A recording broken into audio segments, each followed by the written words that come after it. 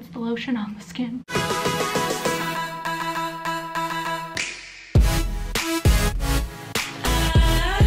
Hi guys, welcome back to my channel. I'm super excited to be collabing with my friend Brittany today for this video for our newborn infant postpartum must-haves. Um, she just delivered her little baby boy as well. I think he's about a week older than, no, he's more than a week older, like two or three weeks older than Russell. And she had a beautiful home birth, unmedicated, and that video is amazing. So I'm gonna link, link her channel below. She does awesome videos. She's a working mom, but she's home with baby until I think January. So, um, and her Instagram is really fun too. She does a lot of like food inspiration and like mom hacks. I've like ordered every single Starbucks drink she's ever ordered, I feel like, and they're delicious. So I'll link her stuff below. She's super fun and awesome and make sure you go subscribe to her channel and give her a follow on Instagram. But today we're gonna be talking about newborn essentials and as you may know, this is my third baby. So I'm a little experienced, but it's my third baby in under three years, so my experience doesn't like go over that much time. I've only been a mom for two and a half years. So I've learned a lot in that two and a half years though, so that's good. I'm about three weeks postpartum. Russell just turned three weeks on Friday. Today is Sunday. He's just growing too fast. Um, but I feel like things are starting to get a little normal with me postpartum wise, like recovery wise. Starting to feel like I don't have to be covered in a million pads when I leave the house and you know you got to cover every area. First i'm going to talk about the baby essentials what we've been surviving with for these last three weeks. So i'm going to kind of go in categories. So first maybe i'll talk about what russell has been wearing what our favorite things to put him in is. I love love love love love using these gowns this one and I have a few others from Lulu & Co. They have these really sweet buttons on the top and they're just knotted gowns so they just knot on the bottom and what I love about using these is they're so easy to change diapers in the middle of the night especially and they have um, little covered hands so that their hands can be covered without using mittens. They also have soft mittens but I don't really like using the mittens because they fall off and like I worry about him getting in his mouth and stuff so I like just the built-in little hand coverage and they're so super soft. I don't like putting like anything too rough on a fresh newborn skin. So these I love. Different colors too. Like I have a baby blue one and a tie-dye one. Um, yeah, I love it. And then also from Lulu & Co. These are my favorite, favorite swaddles. Well, I won't say favorite, favorite because I am going to show another comparable one. This is from Spearmint Baby or Spearmint Love Baby. I love these swaddles. These are my favorite. They're so stretchy and soft and you can really get like a good wraparound baby with them. And I just love how they feel. They're so buttery soft for a newborn on their delicate little skin. So those are my favorite swaddles for him. Well, I won't say swaddles. They're my favorite blankets for him. But what we've been swaddling him at night, we have three different swaddles that I love so much that have been helping him sleep. So the first one I'll show is this Love to Dream one. And Russell really likes to sleep with his arms up. He doesn't like being trapped and having his arms down. So that's what's good about this. Their arms just like tuck up. The hand goes right here. And he really likes this one. This is um, a small. It says 7 to 13 pounds. He was 9'6 at birth and I would say he's just about out of this one. It's getting pretty snug on him. So just some size reference there. The next one um, that we love using is the Ollie Swaddle. This is um, from Violet. Actually, both of these swaddles we used with Violet too. And now we're using them again with Russell.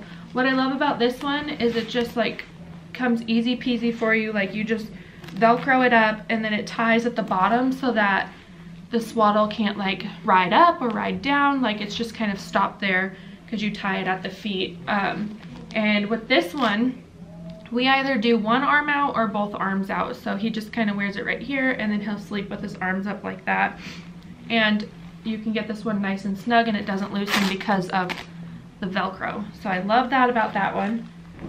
And then we just like alternate these like if one's getting washed or whatever we'll just use one of the other ones. So they're all great swaddles in my opinion. This one from Amazing Baby, which is just Amazon's baby line. Um, if it'll focus in, it has cute little shapes on it.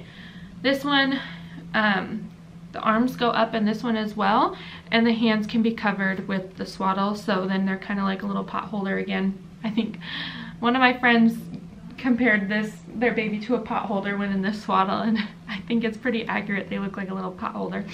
Um, what I really like about this one, they're all a little different. And so this one has a zipper in the front, but it unzips from the bottom so that when you do nighttime diaper changes, you don't have to pull the whole front zipper down. You can just get in there from the bottom. And so I really like that.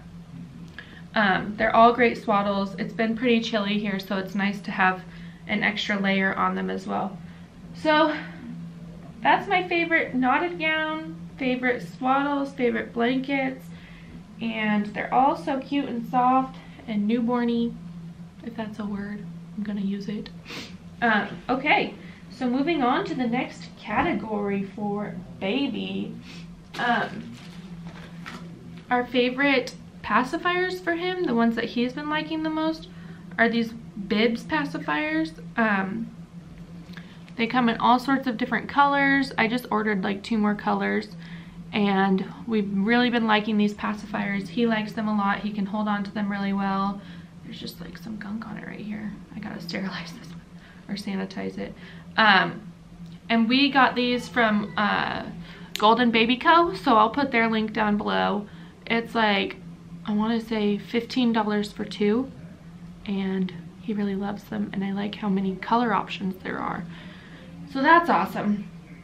So this is the sound machine we've been using. It's from Dream Egg and I really, really love this sound machine. We've used a few different sound machines with the girls um, and this one is by far my favorite. I'm gonna turn it on real quick.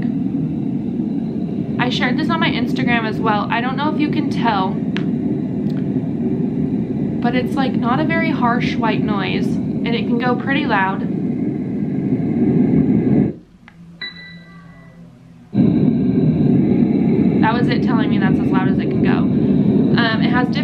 Sounds.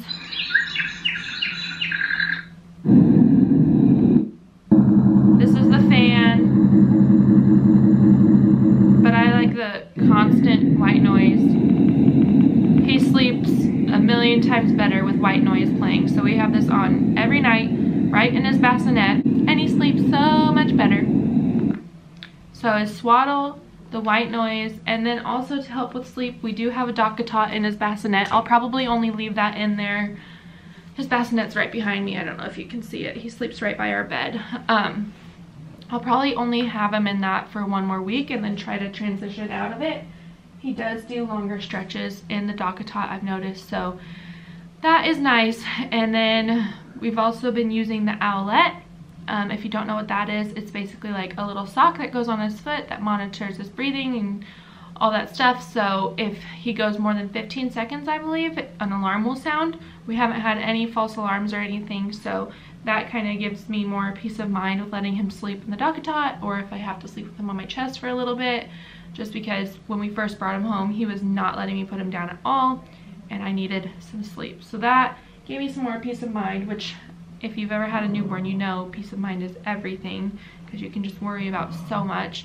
Um, and then I'm actually going to pick the camera up and show you what he's been sleeping in. So this is where he's been sleeping right next to our bed. I just have a little burp cloth down because the DockATot gets stained easily by like the natural oils on his head. And then I keep the diapers here for middle of the night diaper changes or in my little caddy that I keep next to my bed, which I'm going to show you. Um, and I just change him right on the bed in the middle of the night just because that's convenient. But we do have this changing table here in our room along with some other essentials in here, blankets, hats, bibs, wipes, and I just usually keep a stack of diapers right here. We have a diaper genie that is very full right now and I need to take out, but I do like using a diaper genie and yeah, that's our little, oh, all my clothes that need to be folded that's our little changing station here. So we don't use this at night. I just change him right on the bed at night. But during the day, it is nice to have this little station. And when he's a little bit bigger, I'll move it to his room. But right now, we just have it in our room. And then I do have like a few baby things downstairs that I want to show you too. So let's go downstairs and look at what we use down there. Joshua's watching football, so you might hear some football in the background, but that's okay. This is the bassinet that we use for downstairs. I really, really like it. It's just part of the Up A UPPAbaby stroller, but it you can buy the stand separately to prop it up. And what I like is that the girls can't reach him while he's in it. So he has all of his naps downstairs in this and the girls can't bother him. And then I just keep the boppy down here, but you could use this for other types of storage, but I don't put much there because the girls will mess with it. But the boppy is nice to have to prop him up sometimes or to help Vera hold him. And this can come off of the stand easily and can attach to your stroller, which is really nice.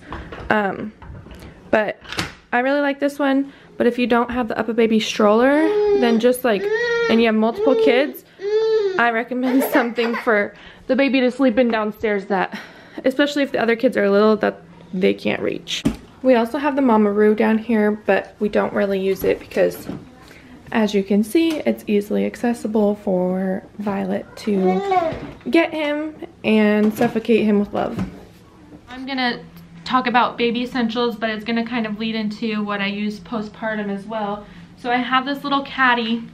It still has a tag on it, I just never took it off. I got it when Violet was born, and I really like having this because especially now that we live on um, two floor, we have two floors, like this is really nice to bring with me up and down the stairs, especially when Joshua goes back to work and I need things from our room that I don't want to be constantly going in and out of our room because he'll be sleeping during the day. I just pack this up and this is what I have for baby stuff. Um, I keep a little burp rag in there. I love this little burp rag. Check me out. How mom do I look right now? Mom and so hard. And then I keep an extra pacifier or two. He likes his little Wubba.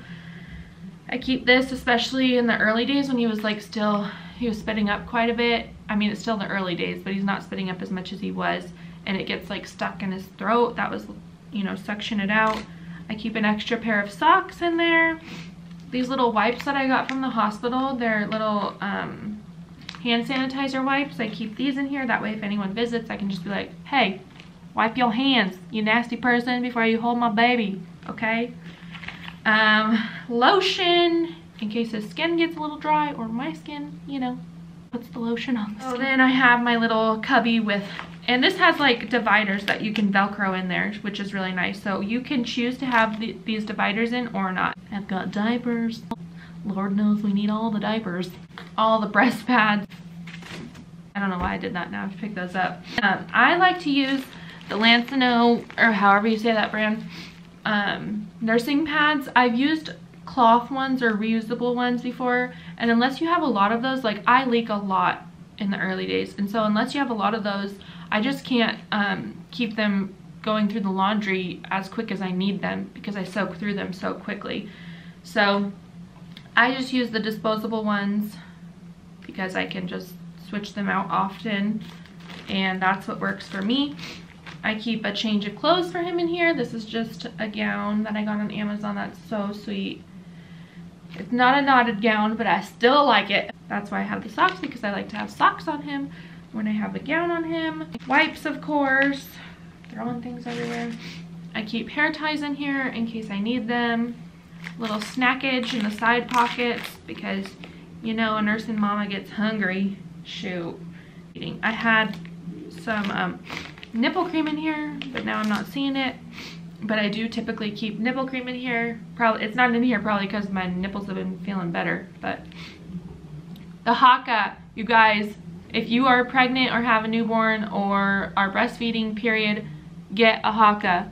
Get a Haakaa. I don't even know if I'm saying it right, but get it. Haakaa, Haakaa, Haakaa, Hooka. Um, this you can choose to use with suction or not. If you choose to use suction, you just, I don't do this, but this is the way that they say to do it. You kind of turtleneck it out and then fold it up on your boob and it will suction onto your nipple. If you need to just like relieve a boob a little bit, if you're engorged or whatever, you can suction it on there. I just give it a little squeeze and suction it on. Um, but I try not to use the suction unless I do need to relieve my boob a little bit just because I like my supply to regulate out to just what baby needs and I do have quite a bit of oversupply in the beginning so while he's nursing on one side, I'll catch the letdown with this guy on the other side and I'll just hold it there. If I need to be hands-free, I will suction it on. And you guys, I'm not kidding with how much milk I've gotten with this. Now I know everyone's supply is different, so you might get a little, you might get a lot, you might get nothing, but for me, this has been a great collector of milk and it also relieves the pressure of engorgement. Another thing that I discovered this pregnancy that I didn't use with my previous, or not pregnancy, but postpartum that I didn't use the past two times is this little shell guy. I have two of them, but the other one's in the dishwasher.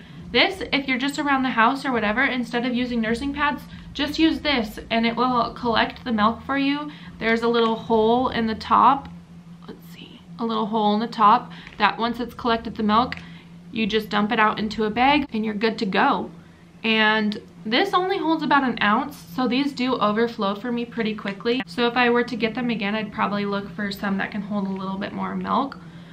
But this silicone top just comes off so you can wash it easily and it's really great. At least for me, like random letdowns and just leaking milk, like the breast, the nursing pads are just constantly wet and it's just gross and these are really nice to give your nipple like a little bit of air so they're not as like covered in moisture all the time let let your nipple breathe free the nipple a little bit with these guys. Um, so i'm going to link these. I have my amazon shop linked below and all of these things that i've talked about are in my amazon shop that are available on amazon but i'll link everything else below and i'm also going to find something that holds a little more milk. I also do keep um, a breast milk bag in here, storage bag from Lansinoh as well, so that right as soon as I have milk in the Haakaa or this, sometimes they tend to overflow, so I'll just dump it in there right away. Then it doesn't get knocked over by the girls or whatever. So for breastfeeding postpartum, these are my number one must-haves along with the nursing pads and everything. There's surprisingly I mean, not much that you need for breastfeeding, but those are going to help you feel better. I haven't had to pump once at all with the, what you would call it, elect electric pump um, to relieve myself, which engorgement is a big thing with me because like with Violet, I got mastitis and it's just not fun. It's uncomfortable. So this is a good way to relieve yourself easily and you can pack it in the diaper bag or whatever nursing bras. I have a few different nursing bras that I really like. Um, I just got them on Amazon and I got another pair from Target. I'm not going to show you my bras because I don't even know where they are right now, but I will link them below. Um, I don't really like anything underwire, especially early on because it's just very uncomfortable. Your breasts are very sore and it's just not fun. So I like something really soft and just easy Clothing wise for me, I've been living in my Zella leggings and pretty much the sweatshirt. um, but my Zella leggings really like pull everything in and I really like that postpartum because you just feel so loose and squishy and so that's really nice. So I'll link my Zella leggings in my Amazon shop. Um, I don't mind nursing in public. I just wear a tank top underneath, a shirt on top or a sweatshirt so that that way I can pull the over top over and the tank top down and just use the shirt on top to kind of hide my breast a little bit um, because although I'm comfortable nursing in public, I don't need to show off my whole boobie. That's just my preference. But if you want to, it's not showing off either. Like if you do what you're comfortable with, but that's just an easy way for me to stay discreet and still nurse. Not that nursing in public is showing off your boob. Please, I respect breastfeeding and normalizing it. Nobody drop in the comments thinking I'm a breastfeeding in public hater. But that's what I do, what works best for me. Oh, another thing I wanted to talk about um, recovery wise is um, I shared on my Instagram about the Frida Mom kit. I used everything in it so I don't have anything to show you right now but I do have it linked below. It comes with um, pads that you just shake and they turn into ice packs and it has like the best cooling cream. This time was different for me because I did tear this time, whereas with the girls I did not.